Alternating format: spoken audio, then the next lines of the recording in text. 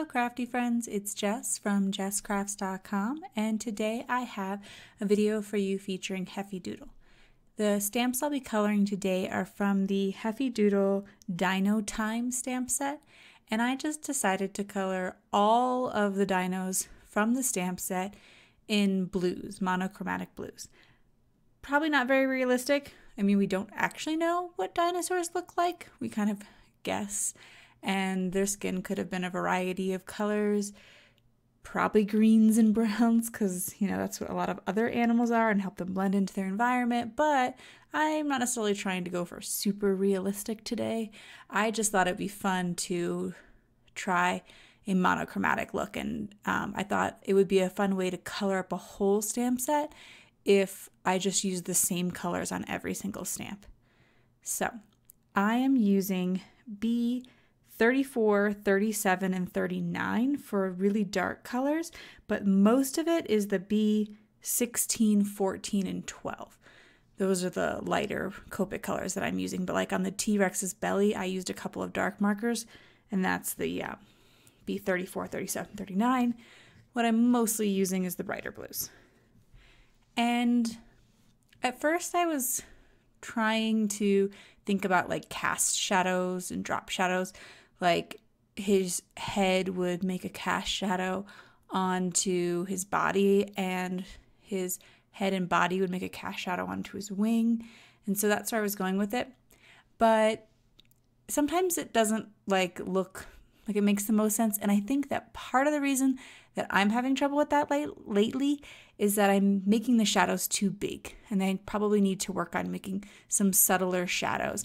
And i that might be something that if you feel like your coloring isn't quite where you want it to be, I might suggest you try that as well. Just because I personally found that helpful to try to make smaller shadows. Obviously, you know, learning from this project and trying to incorporate that going forward, but it was a helpful thing for me to think about. And knowing that I was using these bigger shadows, or if I, you know, want to use the bigger shadows, which is fine too, um, that maybe not trying to add as much detail is better and just to pick one shadow spot. And even just having one darker area and one lighter area will still usually give your character some dimension. And ultimately i think that's all that any of us are going for is just a little bit well sorry not any of us because there are amazing colorists out there. And you know i have done some really detailed coloring in the past too but like when you're just trying to give the like impression of some interest, even just one shadow can go a long way.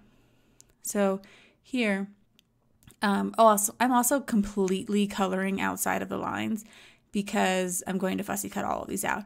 I didn't buy coordinating dies. I could have cut them on my scan and cut, but I had stamped all of these on little scraps of extra paper, and so I would have had to put like a bunch of stuff through my scan and cut.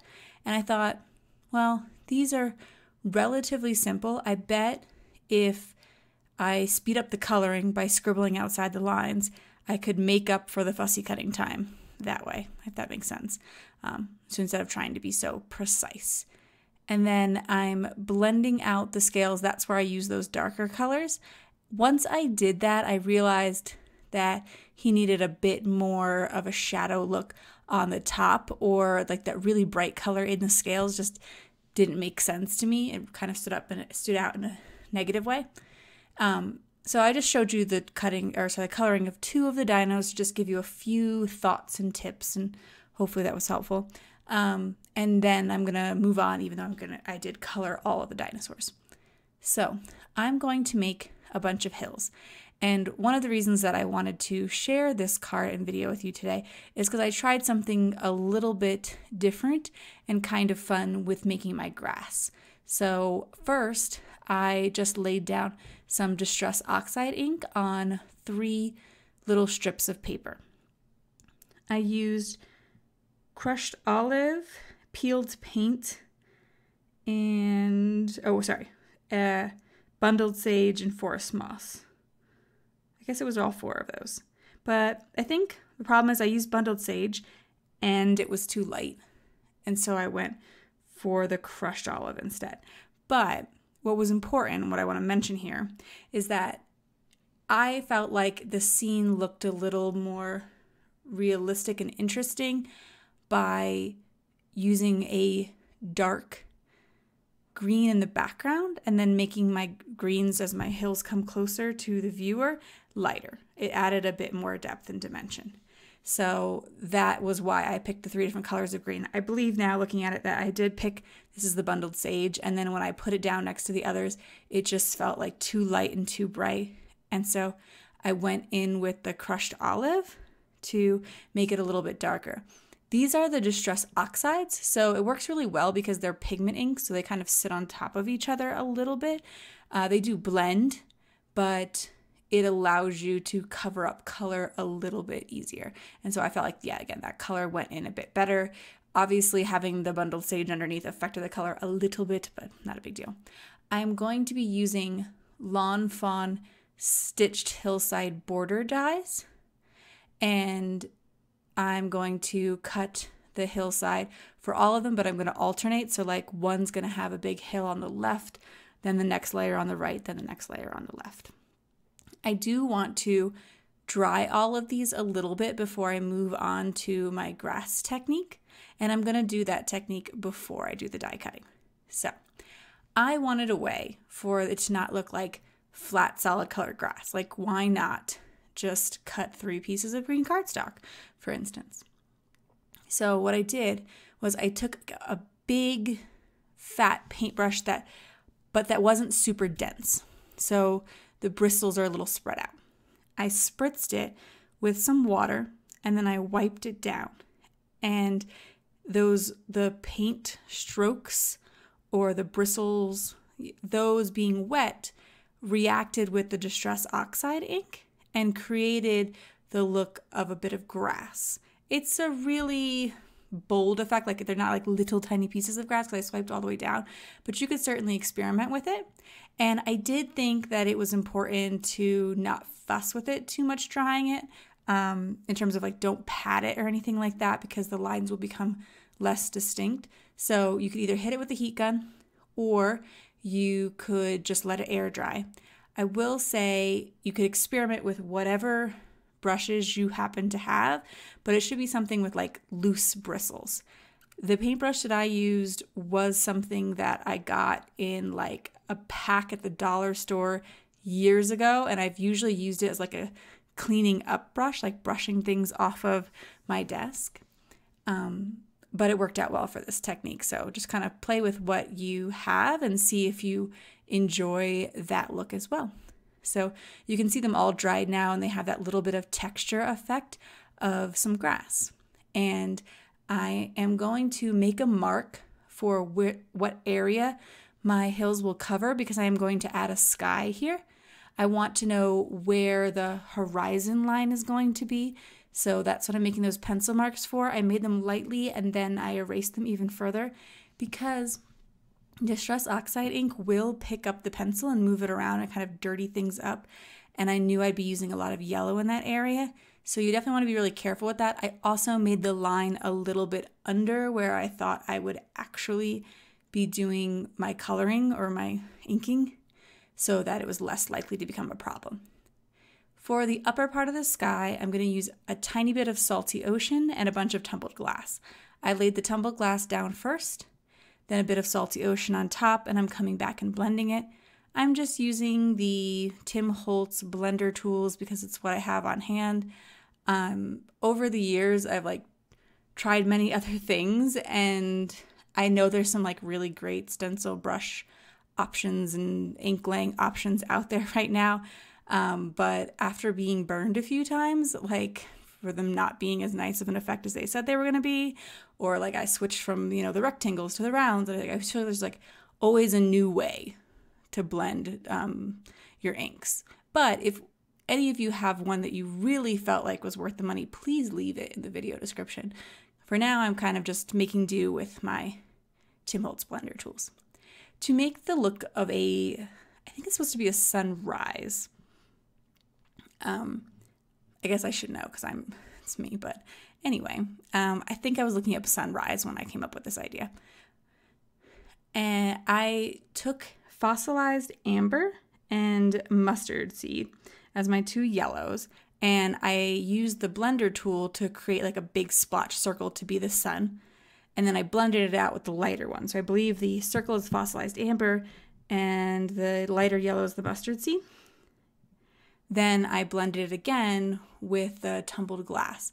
It does kind of create like a green color there, which is not exactly what you'd see in the sky, but I think it actually worked out better than I anticipated because at first I was a little bit scared of that green color, but in the end, it doesn't look as awkward as I thought it might.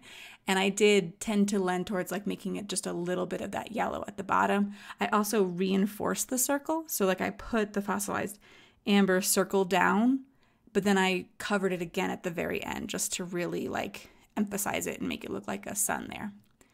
I'm going to stamp and heat emboss my sentiment. I'm going to use black on white or white on black. I don't do this very often, but I really like the way it looks. I feel like sentiments pop so much more, and I'm like, why do I not emboss more often? And then I embossed, and I kind of remembered why because I'm not very good at it, I guess. Like, I put down the embossing powder bag and all that, and I still got little flicks of embossing powder where I don't want them. So, yeah, maybe I just need to be a little bit more liberal in my application of my embossing bag there. The distressed edge rectangle that I'm using is like one of my favorite dies. It works so well for different animal things. Like I just like that versus a plain rectangle. And that is from Kat Scrappiness. A lot of Kat's basic dies, like her rectangles, her circles, ovals, squares, etc., are like my go-tos, particularly her rectangles, because she has some unique ones and the price is quite good. Like you usually get like quite a few size rectangles that nest into each other for less than 20 bucks. So compared to some other dies, I enjoy her sets, especially this distressed edge one here. So after I decided where I was going to put my sentiment, I had started kind of playing with my dinos, where are they all going to go? And the card was feeling kind of boring. And I was second guessing like why am I filming this card? Am I even do I have anything even interesting to share?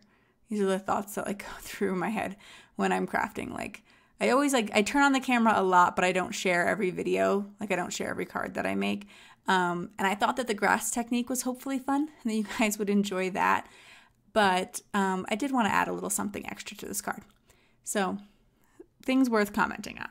I am stamping with my Distress Oxide inks. They're pretty good at stamping. Um, I did and you've heard this before if you've watched some of my more recent videos, instead of popping things up with foam tape, I have just turned to using cardstock scraps, double layering them and gluing them behind my critters as a way of like saving a tiny amount of crafting budget. But like when you use a lot of foam tape, it it certainly adds up. But I also there I splotched some blue onto my sun. And I have my Tombow sand eraser there, which helps but I didn't want to redo all of the inking.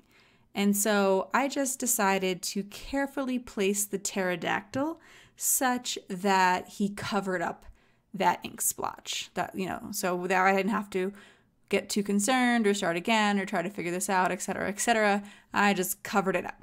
You could have also like put another heart there, but I was trying to keep the blue hearts mostly in the areas where the sun wasn't.